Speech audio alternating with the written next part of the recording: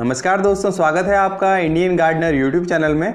आजकल ज़्यादातर लोग चींटियों की वजह से बहुत परेशान हैं। सबकी क्वेरी आ रही है कि चींटियाँ गमलों में घर बना रही हैं, जिसकी वजह से पौधे सूख रहे हैं। इसका क्या सॉल्यूशन किया जाए? कई लोग चींटियों के लिए दालचीनी पाउडर विनेगर बेकिंग सोडा राख, हल्दी आदि का इस्तेमाल कर चुके हैं, लेकिन इससे ज़्यादा फ़र्क नहीं पड़ता। एक दो दिन बाद चींटियाँ अपना काम फिर से शुरू कर देती हैं। ज़्यादातर लोग चींटियों को पौधों के लिए अच्छा नहीं मानते, लेकिन क्या वास्तव में पौधों के लिए चींटियाँ हानिकारक हैं?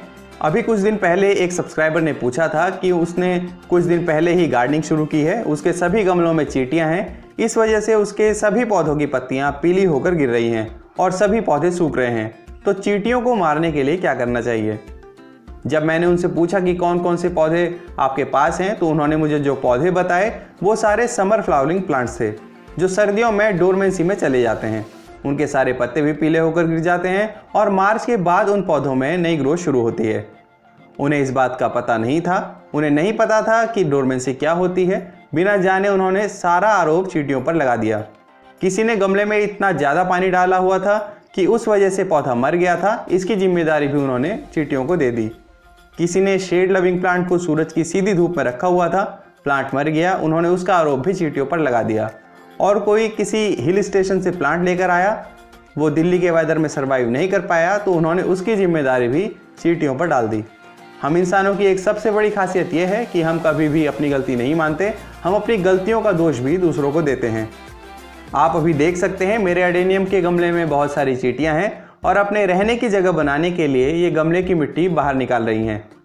चीटियाँ मिट्टी के अंदर जो रास्ता बनाती हैं, उनसे दो फ़ायदे होते हैं। पहला तो अगर गमले की मिट्टी का ड्रेनेज अच्छा नहीं है तो इससे गमले का ड्रेनेज अच्छा हो जाता है, जिससे पानी गमले में रुकता नहीं और रूट रॉट की समस्या नहीं होती।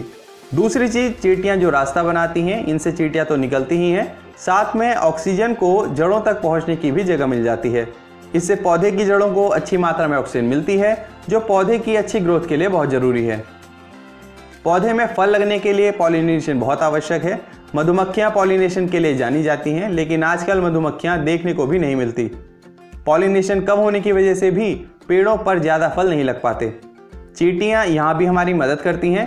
वो भोजन की तलाश में एक फूल से दूसरे फूल तक जाती हैं और अनजाने में परागकण एक फूल से दूसरे फूल तक पहुंचाकर पॉलिनेशन कर देती हैं।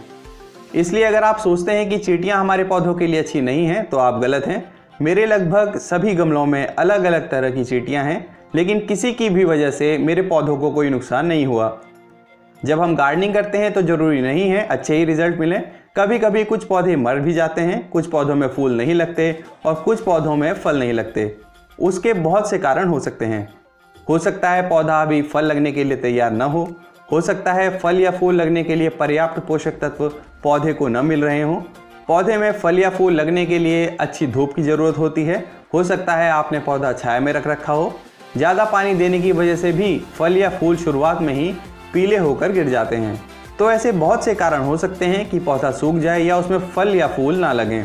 हाँ ये बात सच है कि कुछ सेफ़ सकिंग इंसेक्ट्स, जिन्हें रस चूषक कीट भी कहा जाता है, जैसे मिलीबग्स, वो अपने शरीर से शुगर रिलीज़ करते हैं।